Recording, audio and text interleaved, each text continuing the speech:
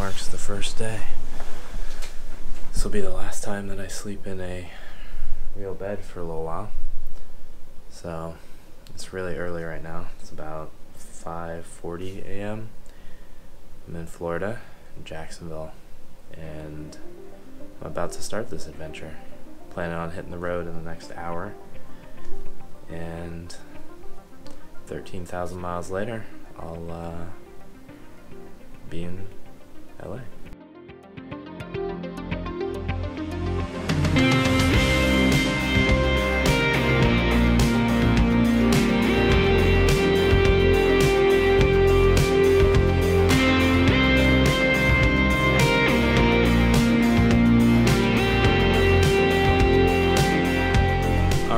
Just loaded the bike. It's ready to go.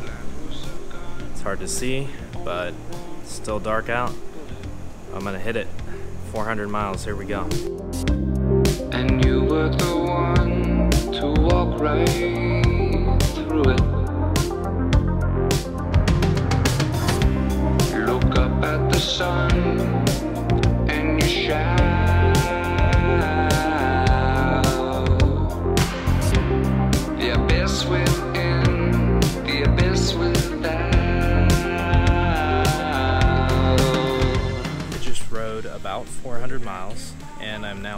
Russell in Georgia.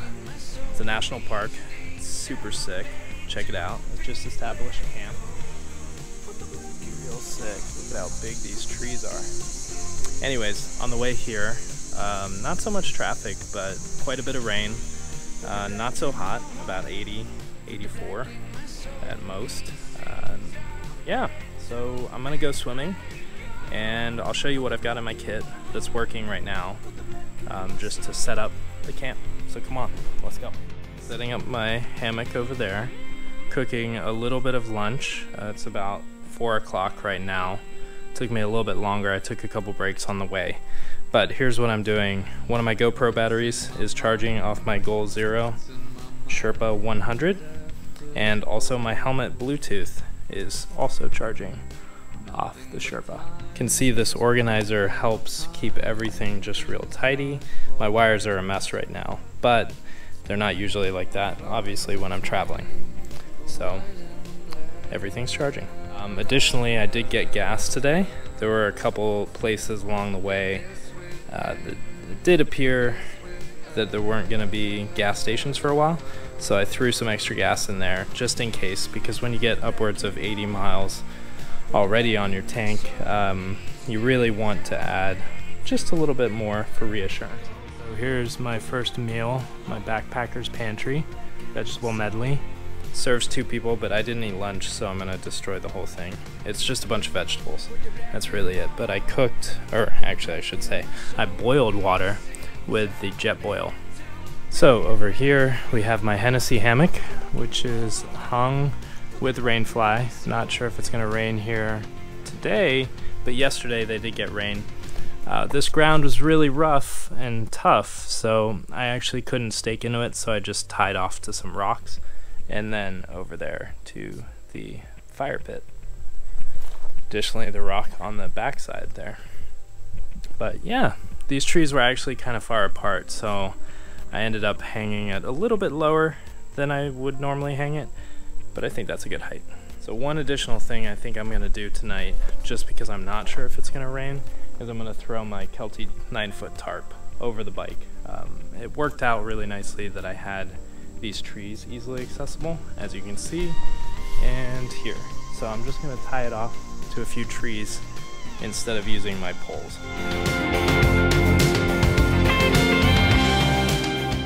Just put the tarp over the bike, and now I'm ready to go swimming. Let's hit it.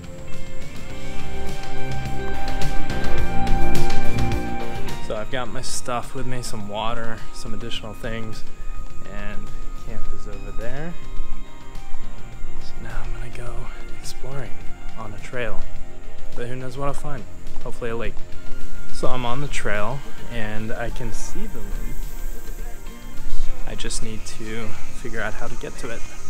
A little bit freaky back here because there's literally nobody else in the park. But Oh, just walk through a spider web. Yeah. I was talking to one of the women that worked here, and she said there's no alligators, there's no leeches, there are only fish in this lake. So, we're gonna find out if she's right. Test dummy. Nothing wrong with that, right? I mean, it's kind of why I came out here to be an adventurer, I guess. So, if I die on the first stop, I suppose I'll have lived as an adventurer. See what happens. Wow. Look at this. It's so incredible. God. I can't believe this, and I'm just here all by myself. This entire lake. Not a single person around. It's me and this crazy yellow tube that I guess has some kind of fish line attached to it so that hopefully you don't get eaten by something, I guess. I don't know. This water looks sketch. How crazy is this? You're alone. Just me. And all this fucking nature. Guess I should get in.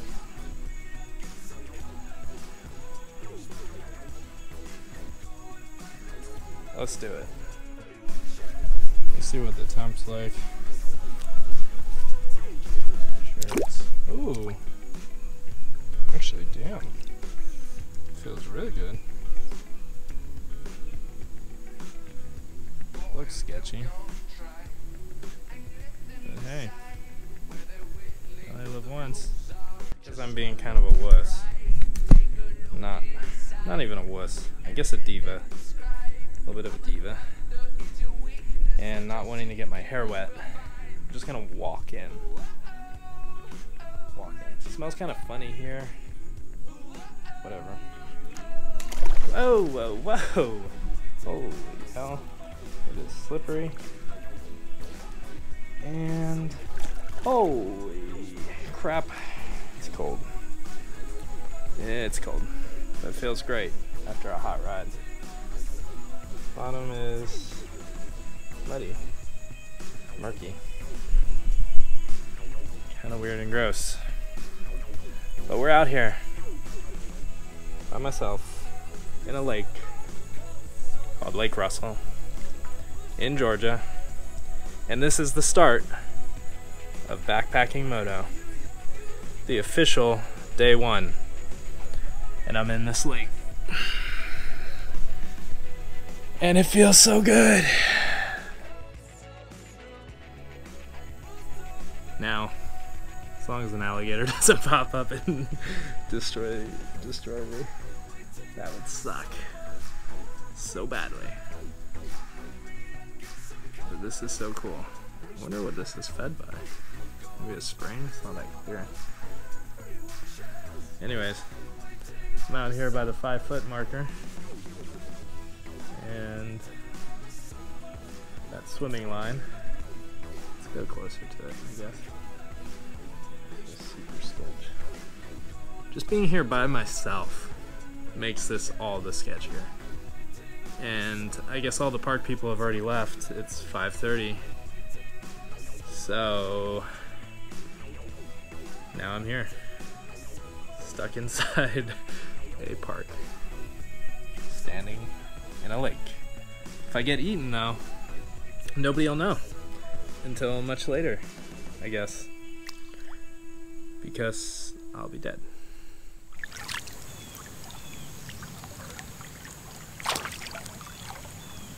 I guess this is what it's all about, huh? Living, floating around in the lake by yourself, talking to yourself. Apparently, there was a bear somewhere in here. So hopefully tonight I don't find him. Or should I say, he doesn't find me. It's cool. There's a lot of dragonflies. A lot of other cool stuff here.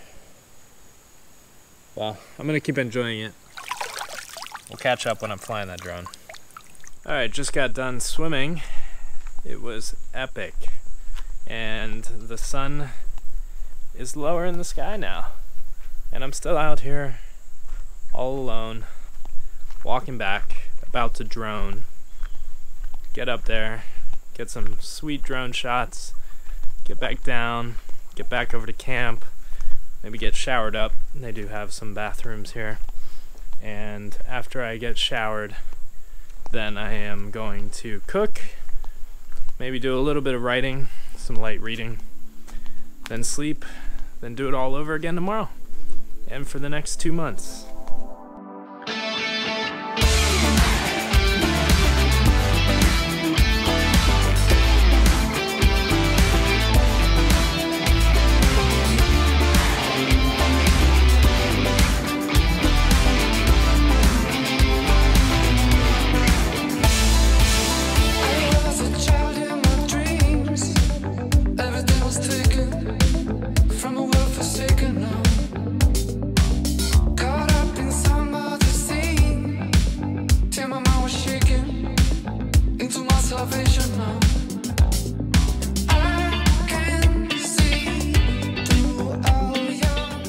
How cool this is. I am just walking next to the lake. And I'm in the forest. And there's nothing. Nobody anywhere. Anywhere. I hear an airplane. That's it. This park actually is a little bit deeper into the woods. On the backside of a mountain than I thought it was going to be. Mind you, you don't have to hike in or anything like that, but it is pretty deep on the other side. A lot of twisty, windy roads as you enter the park. Very cool. Love this place. Highly recommend it. Lake Russell. You know, the other cool thing about this lake is I didn't get eaten by anything. Nothing even brushed up against me. I did see some fish. Water was very murky. I didn't even go under. But there's all these cool trails as well that just go around the entire lake.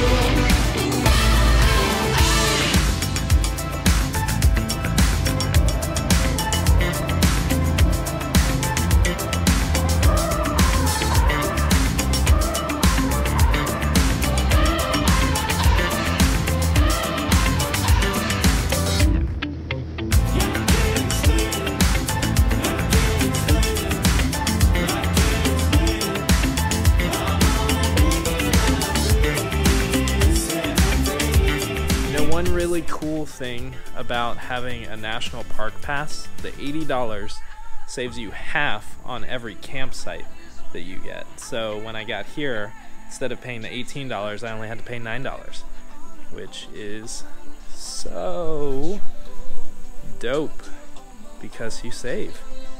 And that $80 is already paying for itself.